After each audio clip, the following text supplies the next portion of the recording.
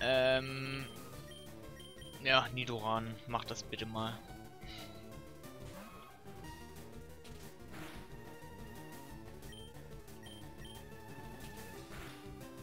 Wow! Das ist schlecht.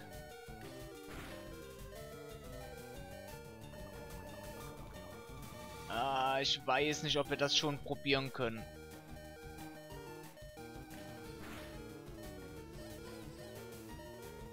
Das Ding hat Anziehung.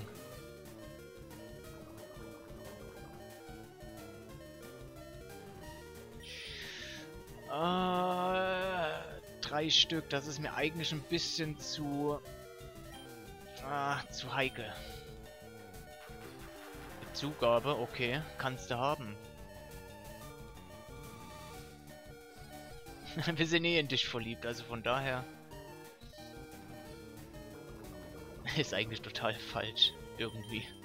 So, komm, jetzt probieren wir es mal. Bitte funktionier.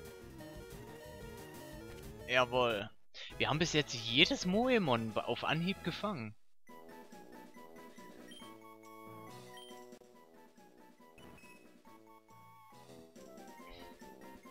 So, Nickname wollen wir dir nicht geben. Und wir schauen mal. Moment, ich muss eben noch einmal abhaken, dass wir jetzt auch Pipi haben. Äh, hatten wir schon Paras? Ich glaube, das habe ich mal wieder vergessen. Zubat haben wir auf jeden Fall. Wäre traurig, wenn wir keinen Zubat hätten. Bei der äh, Begegnungswahrscheinlichkeit. Ja, da können wir doch mal nachgucken. Ja, haben wir. Das heißt, uns fehlt tatsächlich nur noch Kleinstein.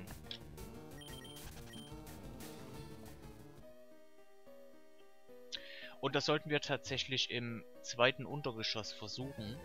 Denn da ist die, ja, Begegnungswahrscheinlichkeit etwas höher als im Erdgeschoss.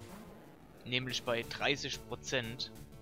Im Untergeschoss 2. Im Erdgeschoss nur von 25%. Dadurch, dass aber Zubat so extrem häufig vorkommt, äh, ja, geht das Kleinstein irgendwie so ein bisschen verloren. Und schon wieder ein Pipi.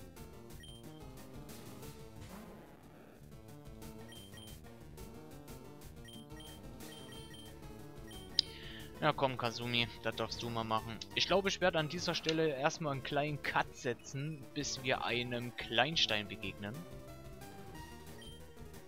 Mit etwas Glück Oh, das hat auch Anziehung. Das kann doch nicht wahr sein.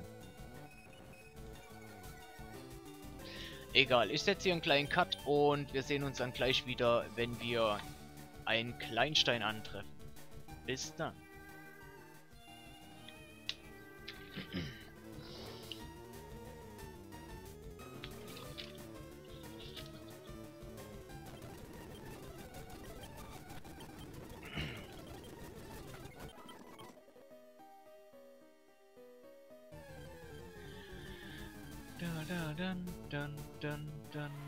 Und wow. Ich glaube, ich brauche überhaupt gar keinen, obwohl doch, ich muss einen Cut setzen, weil ich äh, Speed-Taste genutzt habe. Mann! Ähm, ja, was machen wir? Zu Ruhe, das darfst du mal machen.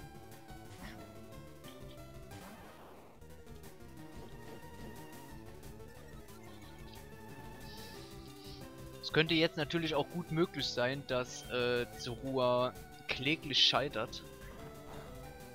Aber wir brauchen irgendetwas, was nicht sehr effektiv ist. Und es ist paralysiert, wie geil. Dürfte eigentlich gar nicht funktionieren. Weil Donnerschock hat keine Wirkung und Donnerwelle hat auch keine Wirkung.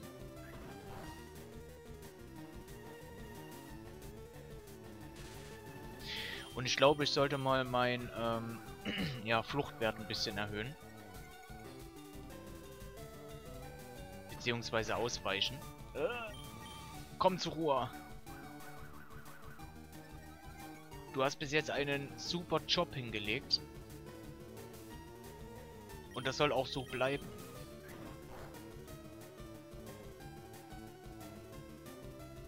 Sehr gut.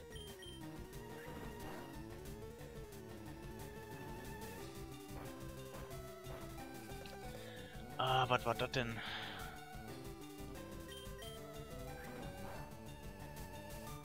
Oh, nett.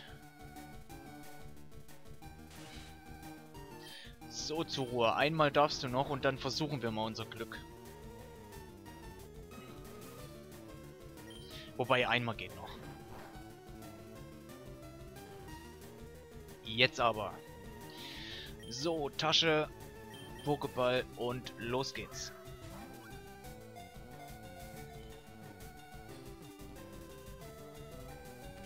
Sehr schön. Das heißt, wir haben auch Kleinstein. Damit haben wir alle Moemon auf dem Mondberg gefangen. Nein, wir wollen dir keinen Spitznamen geben, denn du kommst leider nicht ins Team. Obwohl es eigentlich mal interessant wäre, auch einen Steintyp zu trainieren. Habe ich tatsächlich noch nie getan. Außer natürlich in der Gold- und Silber-Version ein Onyx. Weil ich halt ganz einfach einen Stalos haben wollte.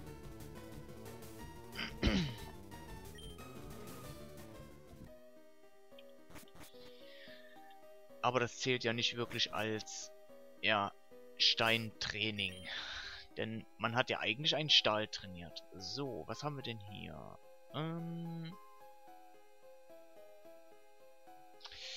Zu Ruhe geht es gar nicht gut.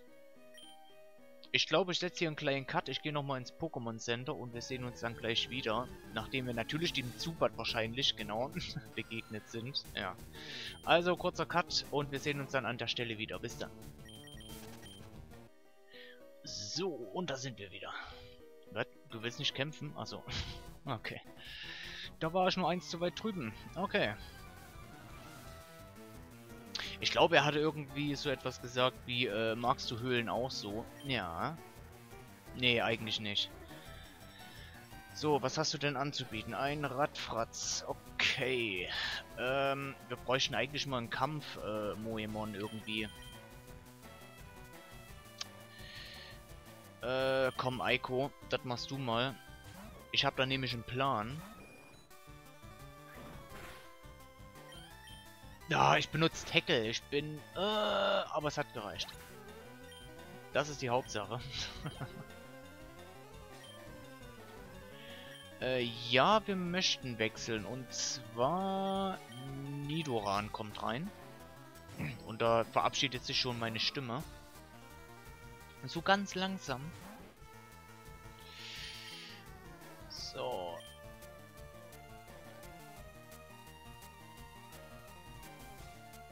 Ja, zur Ruhe. Zur Ruhe macht das. Ich war jetzt schon kurz am überlegen, ob wir eventuell Kasumi nochmal, äh, ja, so ein bisschen einen Push geben. Allerdings, ja, sie leveln wir ein bisschen später kommt alles noch. Das Leveln werde ich sowieso höchstwahrscheinlich offscreen machen.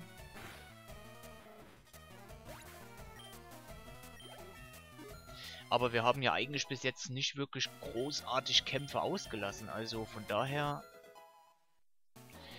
müsste eigentlich vom Level her alles noch passen. Okay, Fokusenergie. Ein Zubat. Okay. kannst du machen.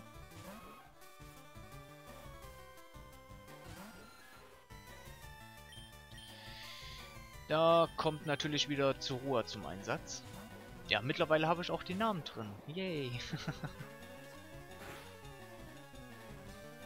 ah, übrigens, was mir eben noch einfällt, äh, ist zwar vielleicht etwas früh, aber ähm, ich hatte ja die äh, Pocket Monster Midori Version gehabt und ich meine, jeder von euch kennt den, ja, die Stadt Lavandia oder Lavandia, je nachdem. Und es soll ja angeblich einen Glitch geben, ähm, des, äh, ja, lebendig begraben Typen da, also den Zombie, der da in dem Grabstein äh, rumherhängt. Ich habe es ausprobiert. Und es ist ein Fake. Also es ist definitiv ein Hack. Wobei ich das eigentlich ein bisschen schade finde. Ich meine, ähm, ja, Nintendo hat so viele Sachen irgendwie eingebaut, wie zum Beispiel diesen Mondstein hier. Und den Steintrainer, der, äh, also den Wanderer, der hier einfach mal eiskalt vor uns abhaut. Ja, find, wie soll ich sagen, finde ich eigentlich ein bisschen schade, denn äh, so eine Sache wäre eigentlich ziemlich krass gewesen. Und ich meine, es sind ja sogar Geistermädchen in den späteren Generationen anzutreffen. Ich sag nur Illumina City in äh, Pokémon X und Y, welche, welches man im ja, Fahrstuhl da antrifft. Und das finde ich ziemlich, ja, ziemlich krass eigentlich. Also, ich meine, was soll das? Man, man will ein bisschen den Ort erkunden, äh, geht in einen Fahrstuhl, fährt in die erste Etage, denkt sich nicht nichts Böses und auf einmal flackert das Licht und äh, ja, so eine Hexe steht auf einmal hinter einem, welche an einem vorbeischwebt. Was zum Teufel soll das? Das muss ja irgendeine, ja, irgendeine Geschichte sein. Und ich meine, selbst, äh, ja, wenn man das nicht unbedingt komisch findet, findet man die nächste Situation lustig. Denn dieses Geistermädchen kann man tatsächlich noch ein zweites Mal antreffen. Und zwar in diesem ähm, äh, Haupthotel da. Wie heißt das? Ja, wo man auch arbeiten kann. Mir fällt gerade der Name nicht ein.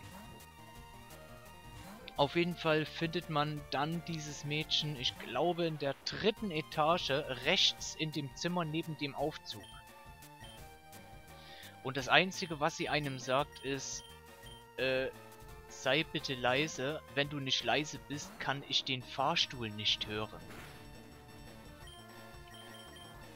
Da gibt es ja mittlerweile auch schon die äh, ja, wunderschönsten Theorien, was, was es mit den Geistermädchen auf sich hat. Und ja, ich sag mal so, der Stoff für eine Creepypasta oder irgendwie so etwas ist auf jeden Fall gegeben. Also bin gespannt, was sich da noch so alles äh, rausentwickelt.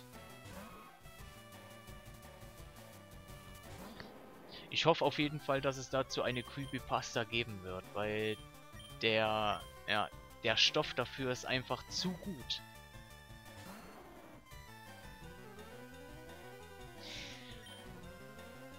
Äh, Ranknieb, genau. Und es gab ja auch in der äh, Pearl, war das die Pearl-Edition? Äh, da gab es ja auch so eine ähnliche Situation äh, mit so einer verlassenen Villa. Und auch einem Geistermädchen.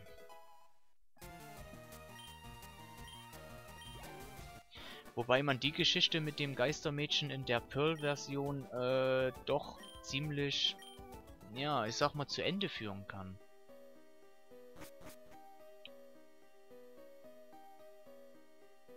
So. Aber... Oh, ach stimmt, das geht ja hier noch weiter. Ja, Kampf. Ja, natürlich ein Zubat. Nee, da habe ich jetzt keine Lust. Wir brauchen ganz dringend Schutz. Ja.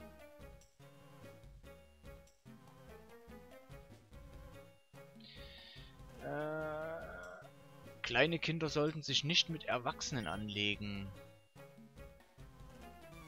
Ja.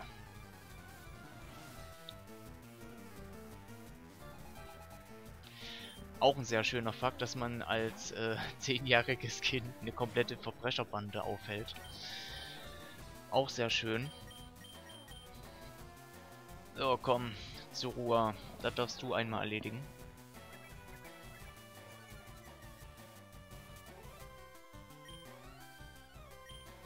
Mm, ja, komm, Donnerschock.